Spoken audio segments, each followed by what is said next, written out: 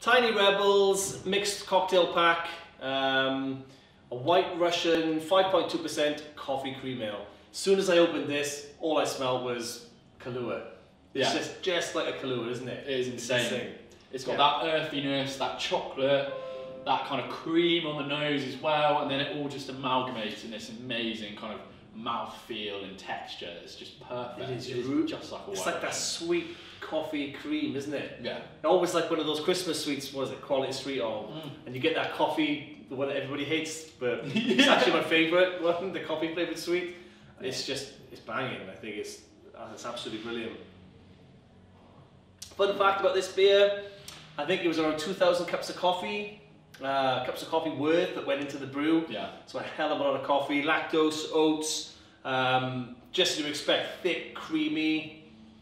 It's the tits. Oh man, it is the tits. Mm. Right, guys, don't forget to join us for our uh, virtual tasting on the ninth birthday beers. Cheers.